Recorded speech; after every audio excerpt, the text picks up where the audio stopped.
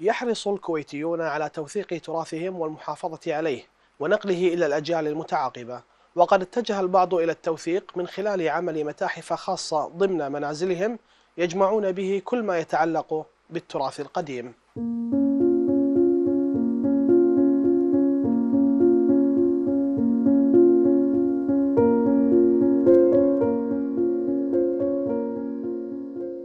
من هذا المكان يفوح عبق الماضي. فالمقتنيات الموجودة به تعود إلى أربعينيات القرن الماضي حيث حوله صاحبه إلى متحف مصغر لكنه كبير بتاريخه ومقتنياته فكل زاوية من هذا المكان تعكس صورة من الماضي وتعود بالذاكرة إلى زمن الطيبين الذين غادروا وبقيت ذكرياتهم.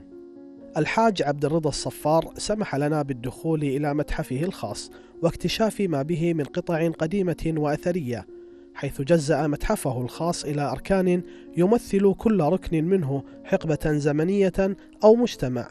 صاحب المتحف بدأ في السبعينيات بجمع القطع القديمة حتى كثر عددها ثم حول جزءا من منزله إلى متحف وأصبح عضوا في فريق إكسبو 965 أول ما بدينا لأن أبوي كان يسافر هند وإيران وباكستان الزجاجيات الموجودة الزرقاء في مقدمة المتحف طبعا هذه الشغلات آه، خطرة بسرعة تنكسر أو حتى حادة بعد.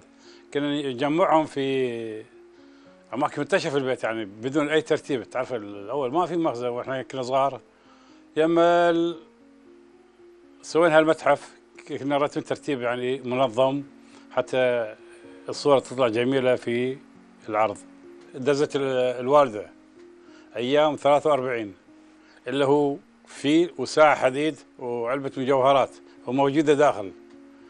طبعا الوالدة الله يرحمها قبل حوالي 16 17 سنة أبو محمد ترى شغلات تنكسر أنت تحفظها أحسن. من هذا أول شيء ما بديت في ال... طبعا في قبله في شغلات آه، زجاجيات. هذا خلاني إني أفتح المتحف هذا.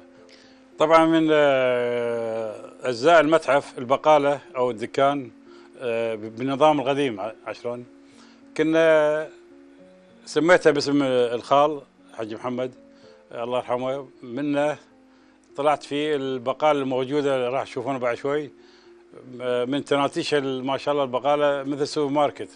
كل ما تحط فيه يبي فيه أشارات نواقص. حتى وصلنا لهذا الحد آه، من البقاله إن شاء الله. هبان طبعا أنا سويت الهبان والطنبوري.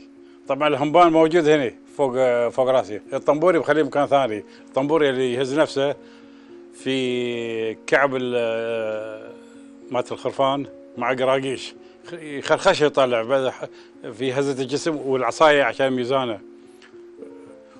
هذا بديت أنا في صناعتي يعني سويت أنا حتى بعد سويت الحمالي. عندي قوري واحد راح تشوفونه إنجليزي مال 1930 أو 40 محافظ عليه. هذه أختي اعطيته قال هم بعد حطه عندك قبل لا ينكسر. الوحيد موجود بالكويت. إذا عند الأهل ما أدري إن عندهم عندي واحد منه موجود إن شاء الله. والله 8% من الكويت أشتريها لازم من الكويت يا حراي يا شغلات عند الربع شغلات كذي أو مزادات أكمل شنو الناقص اللي ابيه أشتري. خلاص اكتفيت أوقف. لقناه ATV العدالة خالد الفارس.